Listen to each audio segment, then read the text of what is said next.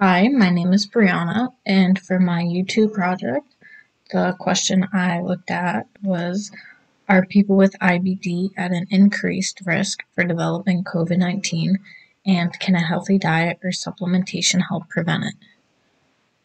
So, for an overview, IBD is a bowel disease, and there are two major types. One is ulcerative colitis, and the other is Crohn's disease is a chronic inflammation of your digestive tract that affects anywhere from your mouth to the anus. Ulcerative colitis affects only the large intestine, where Crohn's disease can affect anywhere in your digestive tract. Symptoms of IBD can range from mild to severe, and the most common ones are diarrhea, fatigue, abdominal pain and cramping, blood in your stool, reduced appetite, and unintended weight loss. The exact causes of IBD are unknown, but there are some risk factors, which include age, race or ethnicity, your family history, smoking, and non steroidal anti inflammatory medications. There are different treatments for IBD, and the most common ones are biologics. Biologics are immunosuppressants made from living organisms and are given via injections subcutaneously or intravenously that work on your immune system to target the inflammation caused by IBD. Patients who undergo biologic therapies will have a lowered immune system and will have a harder time fighting off infections than someone who is not on a biologic therapy regimen. So, with the outbreak of COVID 19, will patients who have IBD be at a higher risk for developing COVID 19? And is there any way that has been shown yet in research to help minimize the risk from eating a healthy diet or taking any supplements?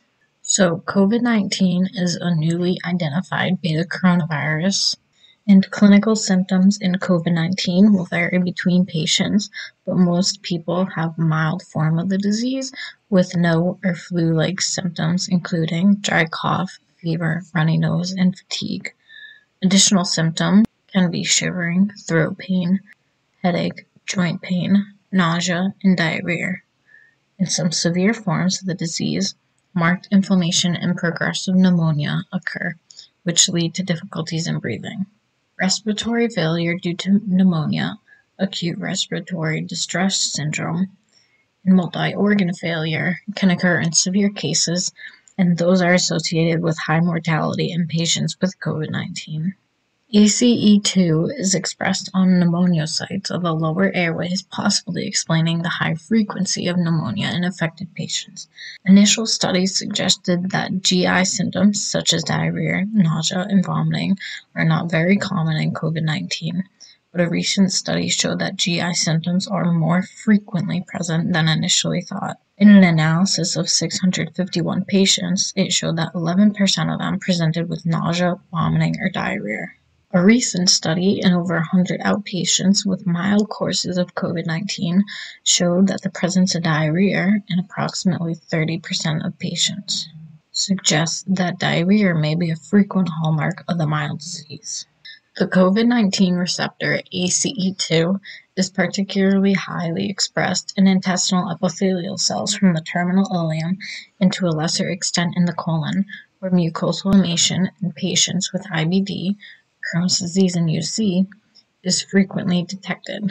ACE may act as a co-receptor for nutrient uptake, particularly for amino acid reabsorption from food. Also, ACE2 activity in the colon was elevated in non-inflamed colon and IBD as compared with controls and active IBD.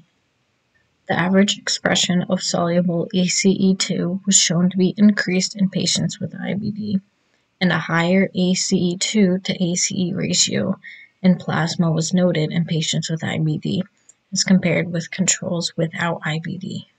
These findings suggested the possibility that patients with IBD might be particularly susceptible to COVID 19. However, there is no evidence so far that patients with IBD are highly susceptible to COVID 19. There was a recent study in Wuhan which studied 318 patients with IBD during the local outbreak of the disease and did not report any COVID 19 cases. The reasons for this observation weren't entirely clear, but might relate to the local adjustments of protective measures to prevent infection, the particular awareness of the IBD patient cohort to hygiene and infection prevention, and the modulation of immunosuppressive therapy.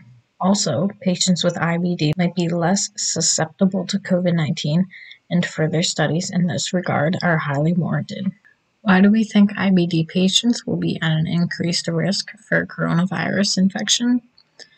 Coronavirus bind to their target cells through angiotensin converting enzyme 2, ACE2, a monocarboxy peptidase best known for cleaving several peptides within the renin angiotensin system and other substrates. ACE2 is expressed by epithelial cells of the lung, intestine, kidney, and blood vessels and it's present in the terminal ileum and colon as well, in concentrations that are highest in the body. Analysis of the distribution of COVID 19 among different biological samples of patients with COVID 19 has shown that up to 50% of the fecal samples were positive. Also, more than one fifth of the patients remained positive in their stools after being negative in respiratory samples. This might explain why some COVID 19 patients experience gastrointestinal symptoms and would imply that COVID 19 can spread through the fecal route. The expression of the ACE2 is increased in the inflamed gut of patients with IBD. These observations may suggest that the inflamed gut of IBD patients can represent an optimal doorway through which the virus can enter human tissues, but based on a recent PubMed search, from March 17th. There is no evidence to suggest that COVID 19 will occur more frequently in IBD patients than in the general population. Another relevant aspect for COVID 19 in IBD patients will relate to the current therapy, as many patients are taking immunosuppressants like azathioprine or methotrexate for inducing and maintaining remission as well as preventing any IBD complications. The use of these compounds have been associated with an increased risk of infections because they block intracellular signals that are needed for the host to fight pathogens. But also, it is noteworthy that suppression of the effector cytokine driven inflammatory response in IBD could be beneficial not only to dampen the ongoing mucosal inflammation, but also in preventing COVID 19 driven pneumonia. So the overall available evidence suggests that IBD patients do not have an increased risk of developing COVID-19 and should stay on all their IBD medications. The patients that are receiving the immunosuppressants should be carefully monitored for any symptoms or signs suggesting COVID-19. So the second part of my question was can a healthy diet or supplementation help prevent COVID-19 in people with IBD?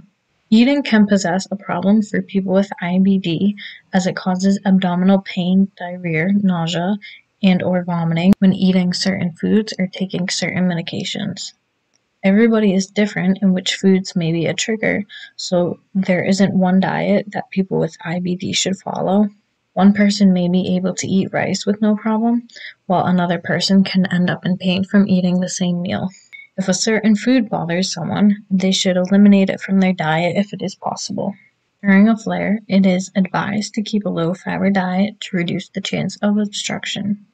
People with IBD are already at a high risk for malnutrition, and nutrition is linked to immunity and infections. So, poorly nourished patients can be at a higher risk for developing infections, including COVID 19.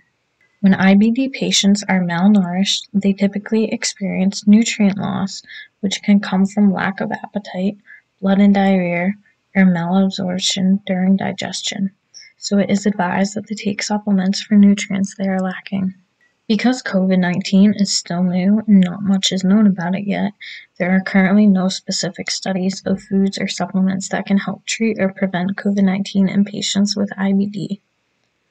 Vitamins and minerals such as vitamins A, C, D, E, zinc, selenium, and magnesium are related to immunity, and also consuming antioxidant rich foods may help to boost the immune system. So, patients with IBD may focus on adding those to their current diet to boost their health in this time of COVID 19 where more research is still needed. Foods that are high in vitamin A include sweet potatoes, spinach, and carrots. Foods high in vitamin C include guavas, kale, and papaya. Foods high in vitamin D include mushrooms and fortified foods such as soy milk and cereals. Foods high in vitamin E include sunflower seeds, almonds, and avocado. Foods high in zinc include legumes, nuts and seeds, and whole grains. Foods high in selenium include Brazil nuts, brown rice, and baked beans. In magnesium include dark chocolate, avocado, and nuts. And antioxidant rich foods include blueberries, strawberries, and artichokes.